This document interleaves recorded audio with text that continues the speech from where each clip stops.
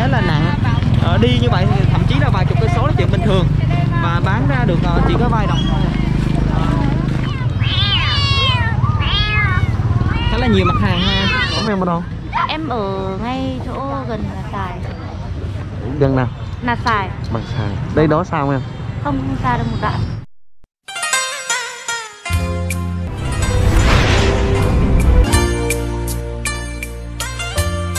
Hồ xin chào cô bác quý chị Hôm nay là dịp cuối năm. Bùi Hồ Bùi Hồ cùng với em có Bụi đang có mặt tại một thị trấn nhỏ của một tỉnh Đông Bắc. À, Đó là tỉnh Cao Bằng.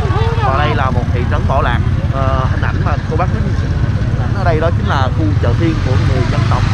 Và ở đây kinh là người dân tộc thiểu số chỉ năm phần trăm thôi.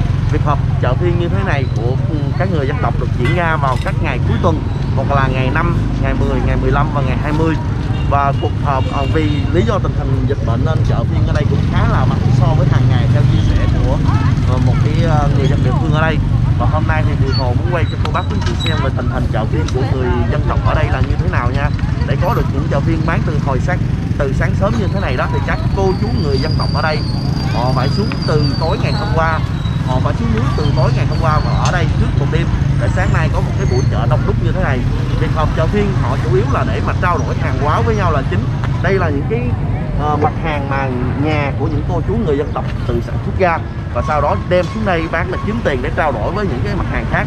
Và điển hình ở đây chúng ta vẫn còn thấy giữ được một cái vẻ một cái vẻ uh, đơn sơ một cái vẻ rất là cái chất của người dân tộc. Đó là những cái trang phục mà đội ở trên đầu của các cô chú đây.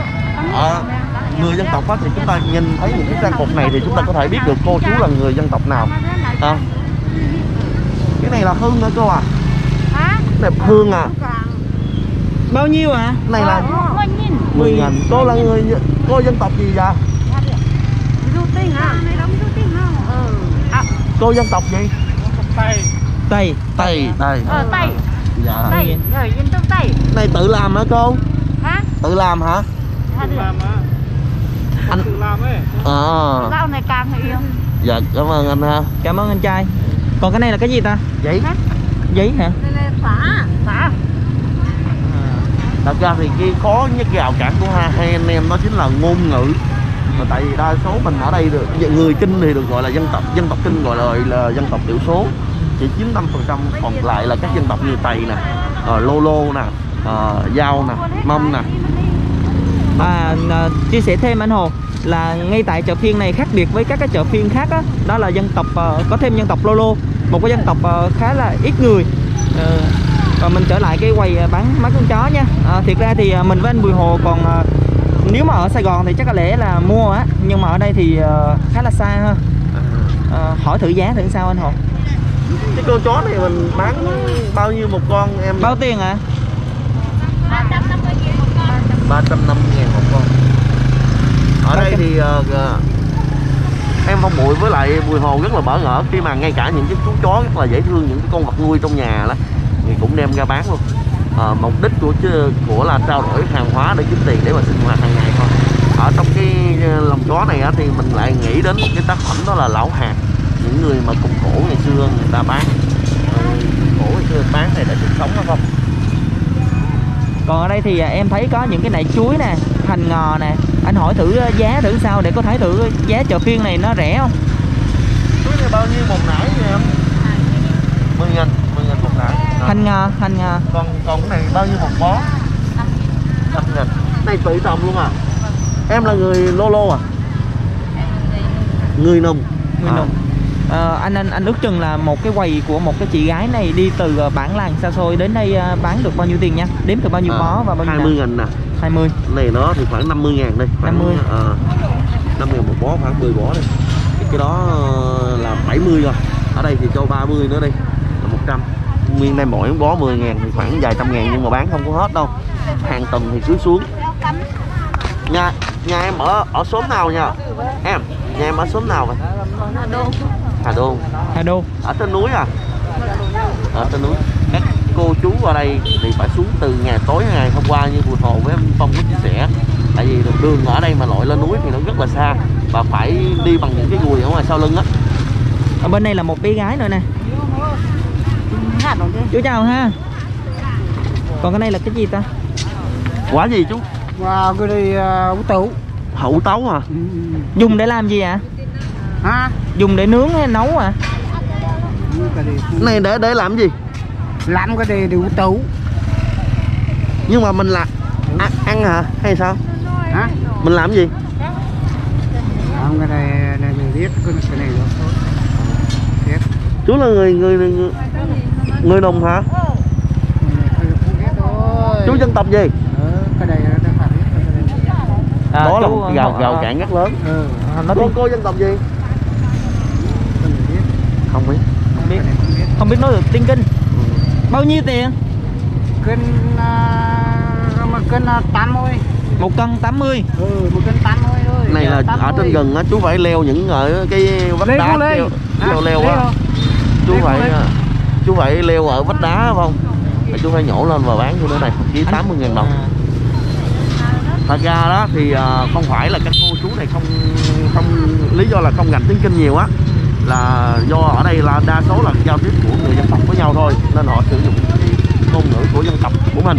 Nên việc hai anh em mình đến đây mà trao đổi với các cô chú không gành á là mình là người thiểu số ở ở cái tỉnh này. Và để hiểu rõ nhất thì ở đây có một bé gái này là cô sẽ có em này này em. Cái, cái này cái gì em? Tẩu. Củ tẩu. À này làm gì ta? Lần cái này à, cái này Ngâm rượu. không biết tại sao là anh lại hỏi em này không? Lý do em này em này à, có đi học tiếng kinh đó. À. còn những cô chú lớn tuổi thì trước đây à, trường học xa quá có có thể là không có đi học tiếng kinh nhiều. Còn cô này. Đám cưới anh nghe không rõ. À, cũng ăn mà tên cũ gì? Đam đam cui. Đam cui. Đám cưới à. Mình là người à, dân tộc gì? Dân tộc giao. Dạ. Ờ, cái người- mấy cái cô chú mà chùm cái khăn kia là dân tộc gì? Cô đó cô kế bên biết Ờ, người lô lô là người nào đâu ta? Không phải lô lô đâu.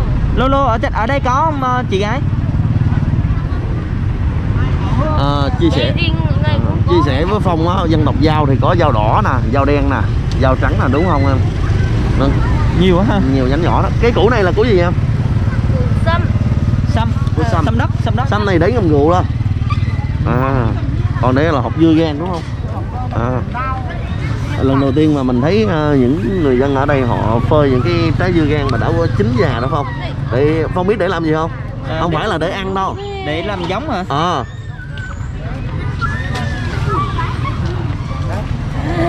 Không nói gì em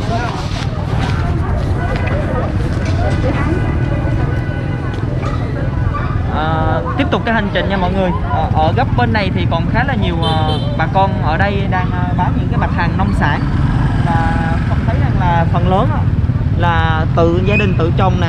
Thậm chí mình còn thấy có cả trên tay của những cái bà con là vẫn còn lắm lem bùn đất. Có nghĩa là từ ngày hôm trước là sau khi lên vườn á, hái về thì bây giờ đã mang ra bán rất là sớm và chỉ à, nếu như mọi người đến đây á thì à, nên đi vào ngày chủ nhật hoặc là những cái ngày mà Phong chia sẻ là những cái ngày lẻ 5, 10, 15, 20, 25 và nãy giờ thì cũng à, ồ oh, đây một cái cây lạ quá.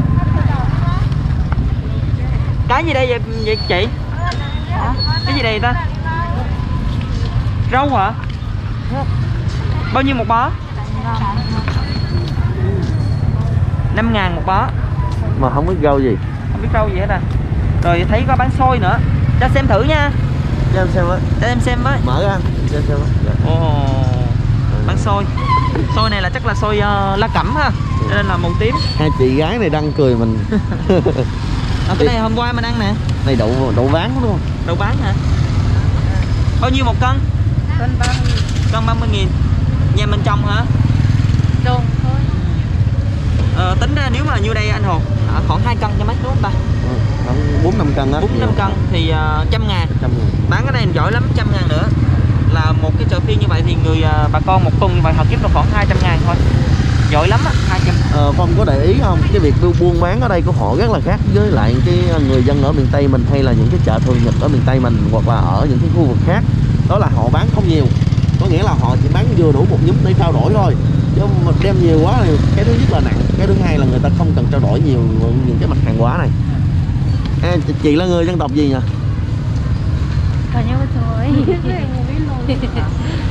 Ờ, ở đây thì người, bà con ờ, hơi ờ, giao tiếp hơi khó khăn. Thì bây giờ mình tiếp tục cái con đường. Ở phía dưới kia mình thấy thấy một cái chị gái có một cái bộ trang phục khác biệt so với những cái ờ, bà con nãy giờ ờ, mấy anh em tiếp xúc thì bây giờ mình sẽ xuống ờ, xem thử anh Hùng. Ờ, một bà lão đang ờ, vùi rất là nhiều đồ. Mọi người có thể thấy không? Khá là nặng. Đi như vậy thì thậm chí là vài chục cây số là chuyện bình thường. Và bán ra được chỉ có vài đồng thôi. Ba, hai bà lão và một cháu nhỏ.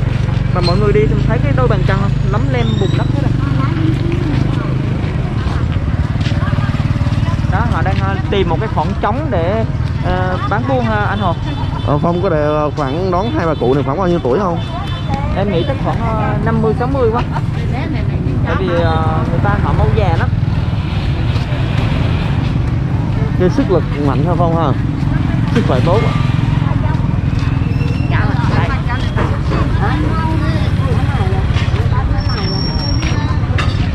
Không, không, không.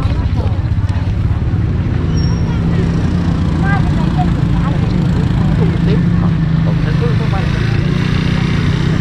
Ủa, cái mic rồi đi quanh này cái mic của em rồi. Em không xài em không xài. Để cầm lên kia mất biết rồi. Ờ. Đấy, đấy, vô vô. Cầm kia và bây giờ thì ờ, mình sẽ theo chân một cái bà lão đang tìm một cái chỗ để bán buôn và ngay lúc này thì ờ, bà con ở các cái bản làng đang ờ, về khá đông. Một số cô chú khác thì đã về từ ờ, rất là sớm rồi từ đêm hôm trước. Và ở góc bên này còn thấy có bán cả heo hay là chó đó. Bao giờ mình qua thử nữa anh không tí tí xíu hai anh em mình đi theo bà cụ rồi ha.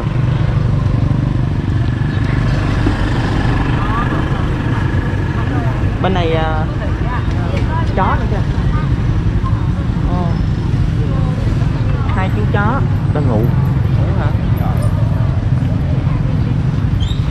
Ờ, những cái mặt hàng nãy giờ anh em mình để ý á, là những cái củ mà màu đen đen ờ, mà bà con hay ờ, ờ, bán để dùng để ngâm rượu ha rồi ờ, những cái rau ờ, vườn. Bên này bên này cũng là một cái nơi bán ờ, rau hay gì đây ta? Nó hỏi thử. Bây giờ rất nhiều lắm rồi. Gì vẫn bán khoai đây là cây giống á. Cái này cái gì à, chị? cây hồi. Cái hồi này để làm gì ta? Trồng để lấy tinh dầu hồi thôi. À hồi quế hả? Để làm uh, niêm, niêm gia vị kia dạ. Đi nấu lấy dầu. nấu lấy dầu ha Dầu to thì cắt đi nấu. Lá nó dùng để làm gì anh? Lá làm dầu á. À. đi, đi nấu làm dầu. Ờ. đây là cái cây hồi và chủ yếu là sử dụng lá để làm dầu. Dầu Và- thấp á và cái cây này là hay nêm vào gia vị á hồi quế á.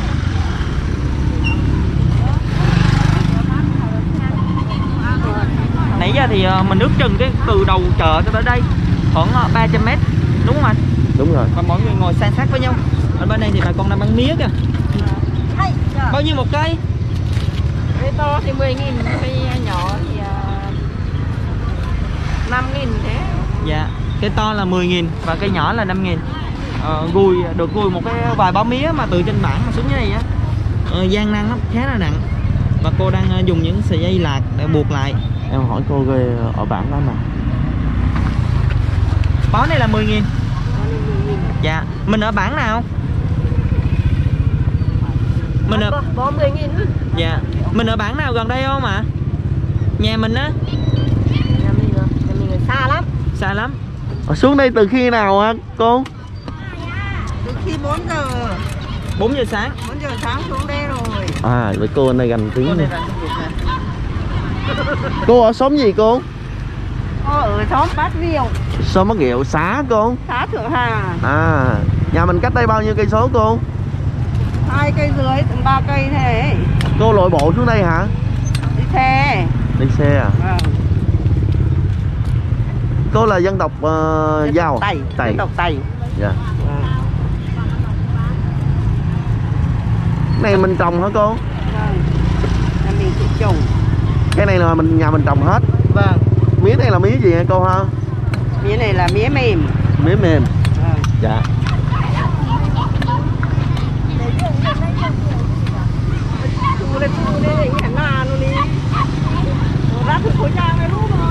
Bên kia chó quá trời. Ở góc bên này thì à, khá là nhiều người à, đang ờ, tiếp tục ờ, đổ về đây để buôn bán. Ờ, xen lẫn với những cái mặt hàng truyền thống của bà con. Thì có những cái mặt hàng mang tính công nghiệp. Mà những cái mặt hàng này thì mục đích là để đổi chác với những cái bà con bán buôn những cái hàng nông sản ở trên các cái bản làng. Và gấp bên đây thì khá là nhiều. Cô chú đang bán cái mặt hàng như là gà, vịt, chó, thậm chí là heo. Mình sẽ đi qua bên đây cho mọi người xem ha. Bên đây là gà nè, vịt nè, chó nè em thấy cái cái lồng mà để nhốt tụi nó thấy ngộ không? À, như cái lòng heo à ha? Dạ. Và những cái lồng này là cô chú có người tự đang á phải không? Dạ. Đây đây là gà nè. Này gà. Gà này gà gà trống thiến á vậy cô? Gà trống thiến á hả?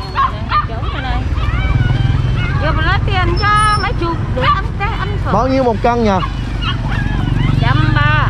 Là thánh thì là trăm tư trăm rưỡi Bào tơ thì trăm ba con này là 130 ngàn đồng một ký nè. À, này là trăm trăm, trăm rưỡi. Còn con này? Trăm hai. Trăm hai Các loại Các loại.